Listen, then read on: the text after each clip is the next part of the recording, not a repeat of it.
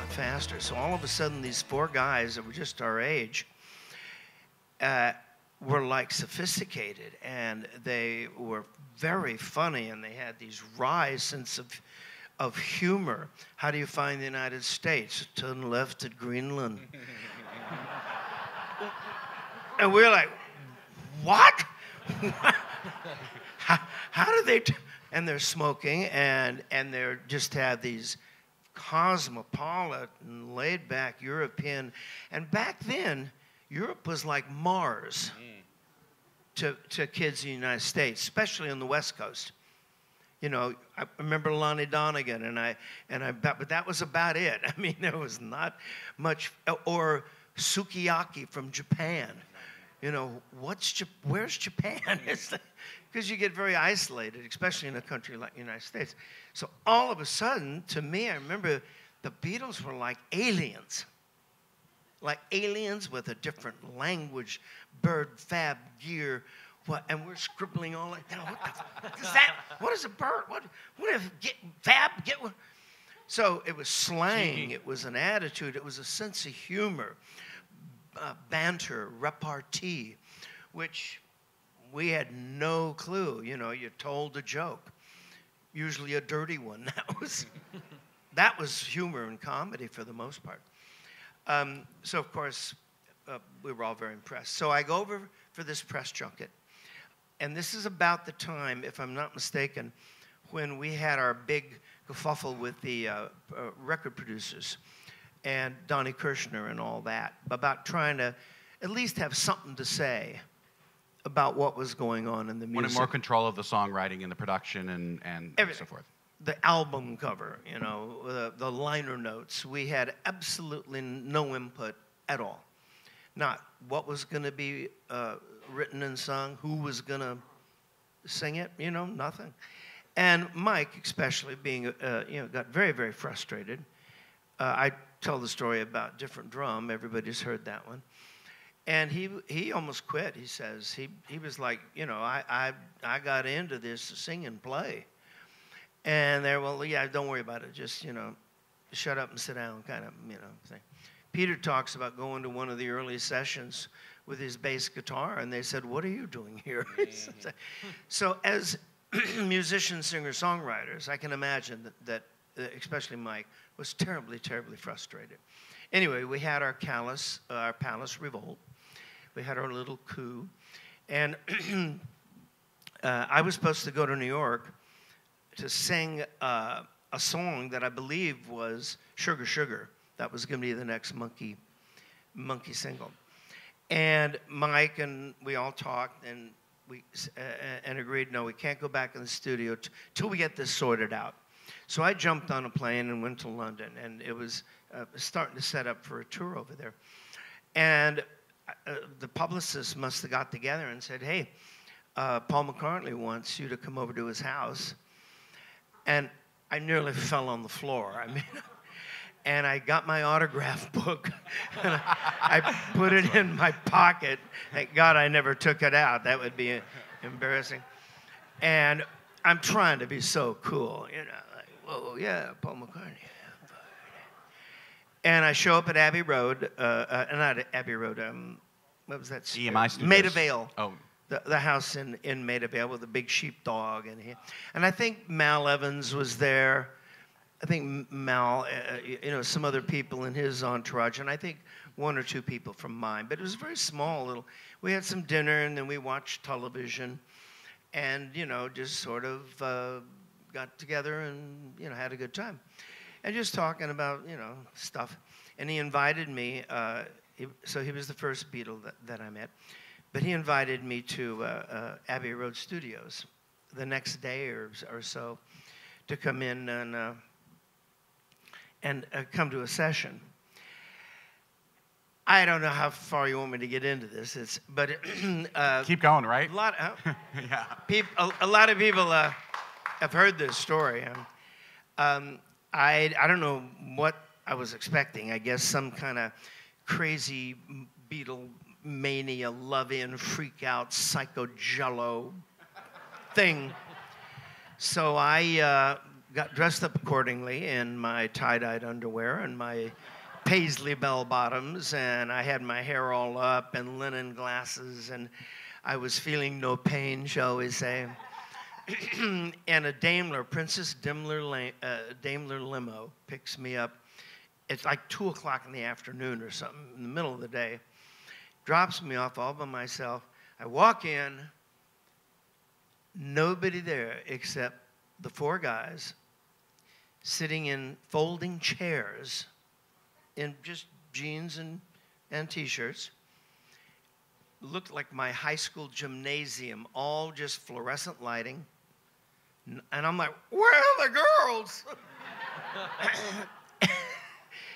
John, uh, uh, George Martin up in the booth in that studio over at Abbey Road, Studio 2, uh, in a three piece suit at 2 o'clock in the afternoon. I think you had to do that if you were staff or if, yeah, my staff.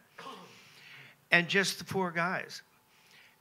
And I'm just speechless. I mean, I don't know. I'm trying so hard to make an ass out of myself, but I already had by showing up in paisley underwear. and, and, and I'll never forget, um, John looks up and says, Hey, monkey man. That's what he called me. It's better than Monkey Boy. From, yeah. Right? From Graduated. then on, it was, ah, monkey man. Terrible accent that, I'm sorry, but uh, you want to hear what we're working on. And I'm, uh, I'm like, yeah, cool. yeah, I'm trying to be cool. I'm going, ah, oh, far out, John. Yeah, right on, man. It's cool, yeah. And he points up to George Martin, and George Martin hits the, the button on a four track tape recorder, and I hear "Good morning, good morning," uh, the tracking of it, and I think a, a, scratch vocal or something like that. And I, we listen, and then, then all of a sudden, it's like, "Oh, tea time, lads!" and this guy from the EMI, uh, whatever, comes in in a tie and a white, you know, long uh, service coat with tray of tea, and we sit around a little tea table and and again, I'm trying so hard not to wee my pants, you know. so, oh, what's it like being a monk? Uh, and um, we have tea. And I'm not kidding, like 20 minutes later, like that, Lennon says, Right, lads, back, back to work. Right down the mines, right back down the mines. I mean, that was the, in retrospect, that's what you know, and I've heard stories also since then that he was really like a slave driver about it. I mean, he was very serious about it. And they're northern lads, and they were like back down the mines, you know. And then I started to realize how they could have possibly come up with that library of material in a relatively very short time. Is there was no bullshitting around, and it was like down the mines every day like that It was a fascinating uh, experience. So I, uh, we hung out. They threw us a party one night at the Speakeasy. And were the other Monkees there at this point? Yeah, I think so. And I, uh, I, I'm told I had a great time. I vaguely remember moments of that night. Uh, John, I know, was there. I remember him definitely. I believe that Mick was there. I think Eric Clapton uh, or, and some people, and you know most of the whole the whole kit and caboodle. Brian uh, Jones, I think I'm pretty sure was there. It was a big turnout and a big party, and I frankly do not remember a whole lot about it. Um, some of the aftermath I do.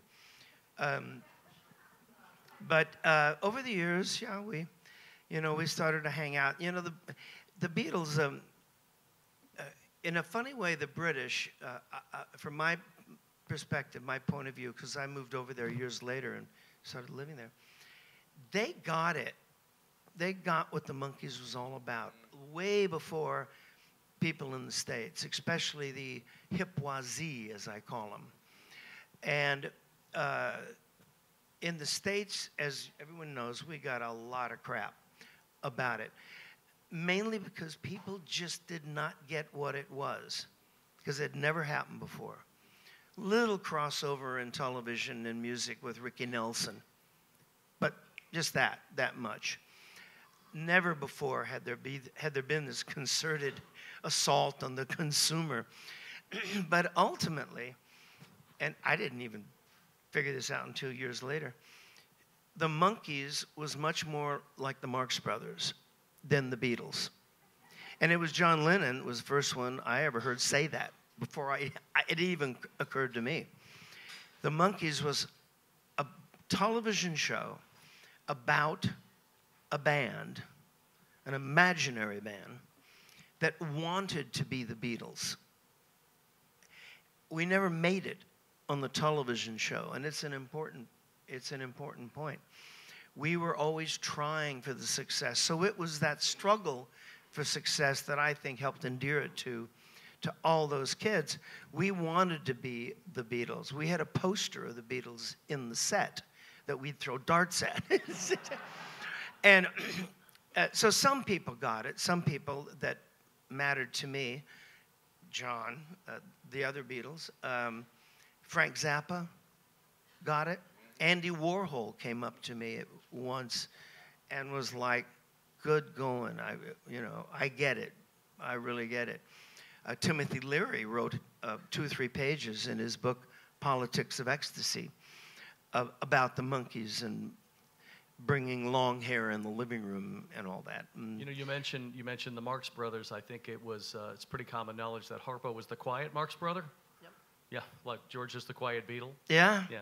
But I wanted to ask you, uh, Peter, uh, when, since Peter and Gordon were going strong for those uh, years following the British invasion, were you still in the inner circle with the Beatles Uh, and with all of the British bands? I'm trying to think what year, what what period that was. Was I at Apple then? I, I No, well, know- 66 and 67, Sergeant Pepper kind of is what Peter. Uh, Yes, no, Sergeant Pepper. mean, Paul was still living in our house. Um, so yes, I mean we would get to hang out quite a lot. Yes, Waiting for Paul to scratch up enough money to get his own place. it's a good question. Um, I don't know actually. I mean, it's probably the easiest thing in our house than having to look for somewhere to live. But he did buy the house in Cavendish Avenue, St John's Wood, um, while he was there, and then of course moved in. But um, uh, yeah, I mean, it, it, I, I didn't go to the sessions that often. I'm still trying to figure out how I missed that party, but I, I wasn't. For some reason, I wasn't at the speakeasy for that party. I don't know why not. And I was at the speakeasy most nights, so that's kind of weird. Um, I spent two years there one night.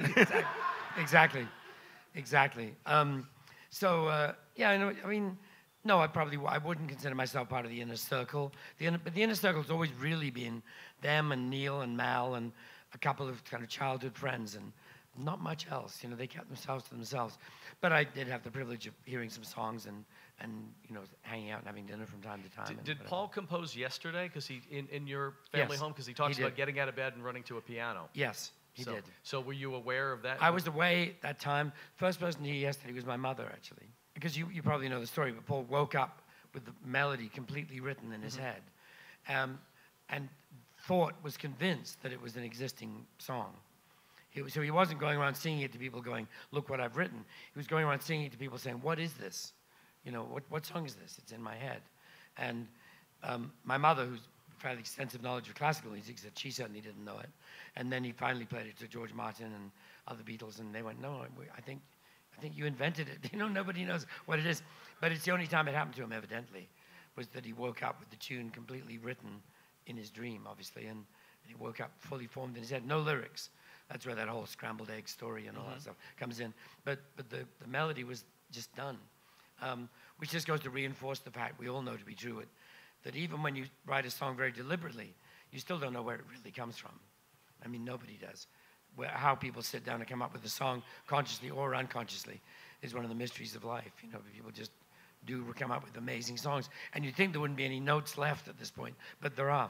People still manage to come up with brilliant new melodies all the time. So since we have Britain meets America here, did you feel that there was a competition, or did you feel like we're all rising to the top, uh, having this success as an American artist and as a British artist?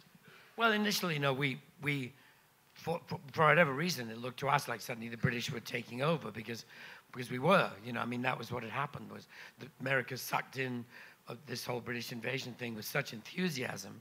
Um, But then, um, and of course, the Monkees were a way that it came bouncing back to us. And you're absolutely right. We loved the Monkees the minute we saw it and heard it. And we didn't expect to.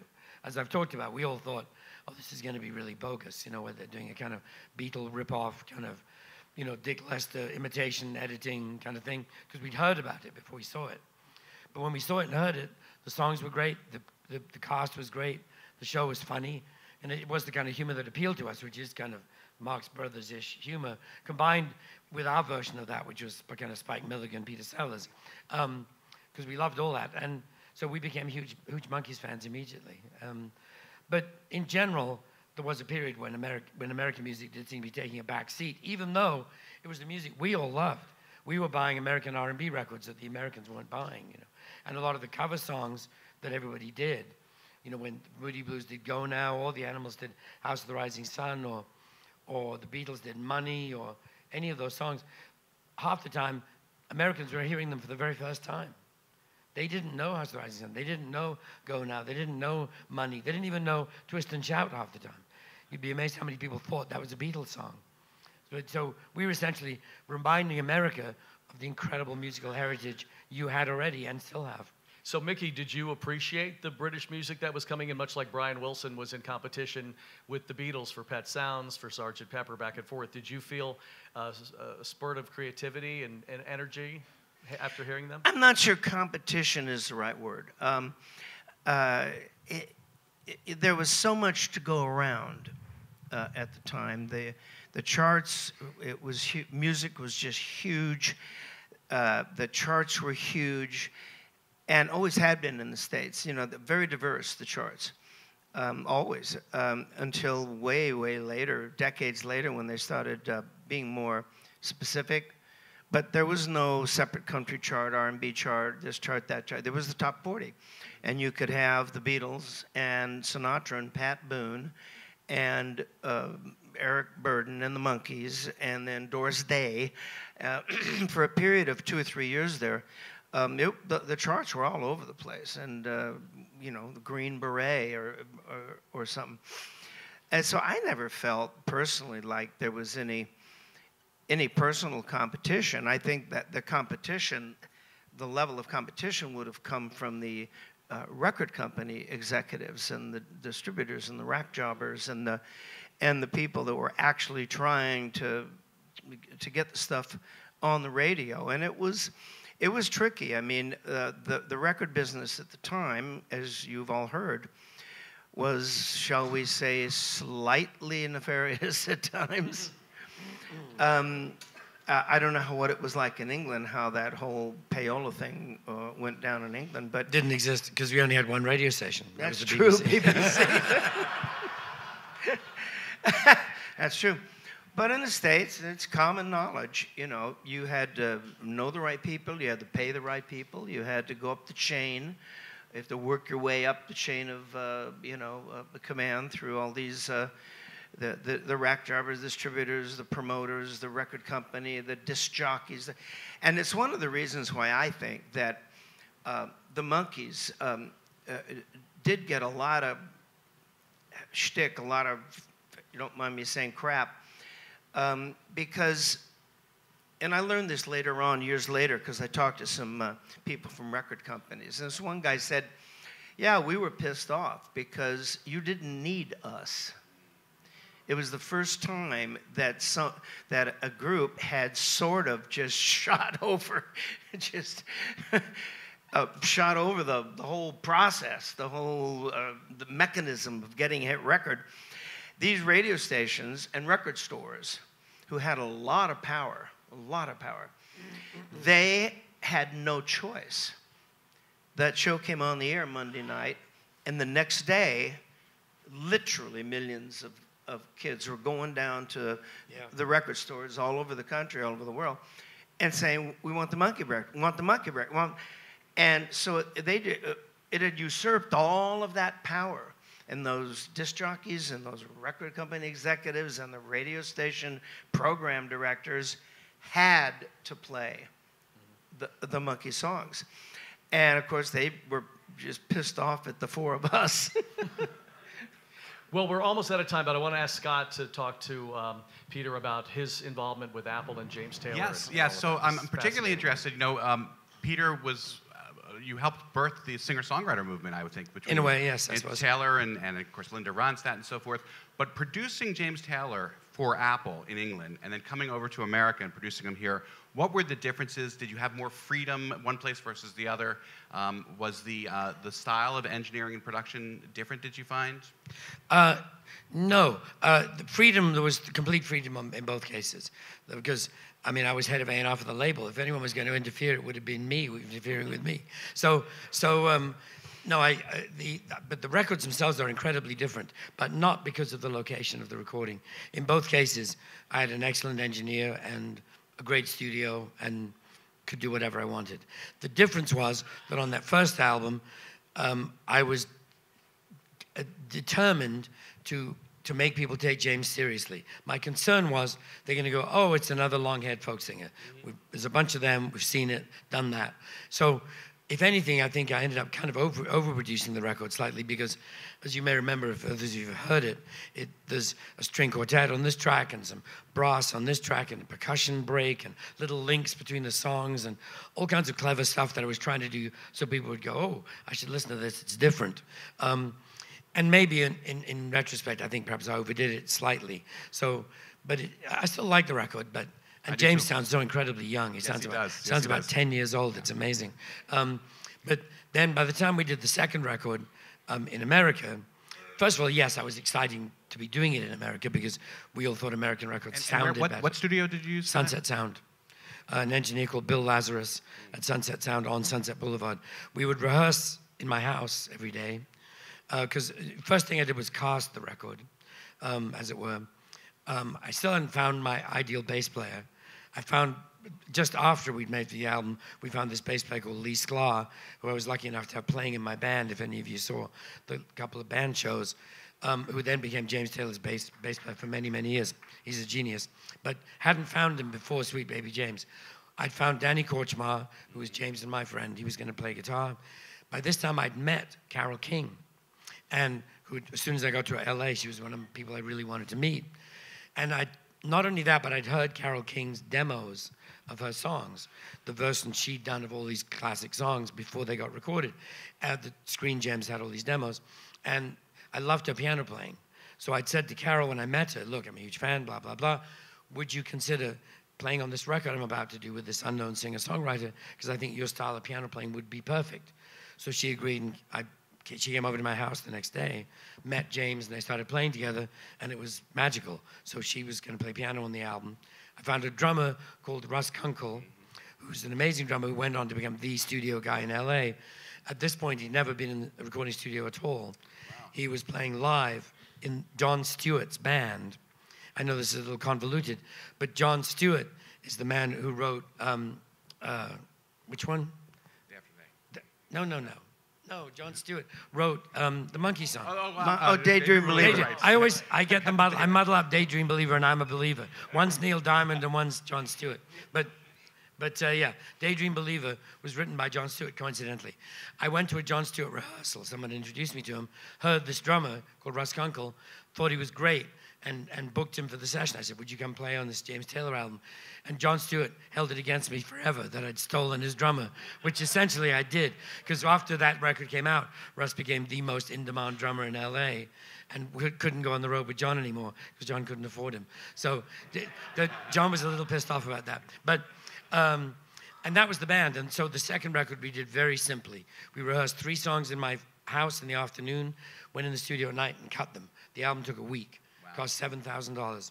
Um, and uh, and we actually felt guilty because you know we with the deal I'd made. This is more than you wanted to know. I know the deal I made with Warner Brothers was that we got twenty thousand dollars up front and twenty thousand when we delivered a finished album, and we we got the money up front, which we spent because we had no money whatsoever. So we spent that you know on stuff, and we had rented a house and all this, and and. Uh, we actually felt guilty when we got the record finished for only seven thousand dollars. But but we had but we'd run out of money, so we really needed to deliver the record and and and collect the back end, as they call it. And um, James came to me towards the end of the recording and said, uh, "I've run out of songs. We I haven't got anything else to, to, to record." you know, we can't finish the record. And I went, but you, you were working on these three really cool tunes, you know, let's finish one of them. And he went, well, I've been trying, but they, they don't seem to be one to get any longer than they are. They're all just fragments. So I said, can you play them to me? So he played me the three separate fragments. And I said, they're all great. So just string them together, you know, join them up. And, and uh, so he did. Uh, he, he tied them all together. And, and uh, it's the only James Taylor song I ever named because he said, well, what do we call it? And I said, well, we'll, put, we'll string them together so we can collect our $20,000. So call it Suite for 20G. So if you, if you, if you look on the record, there's a song called Suite for 20G, and people, people have ascribed all kinds of mystical meanings to it. It, it- it- it was just about collecting our money. Uh, Ladies and gentlemen, Peter Asher, Micky Dolenz, and Scott Fryman.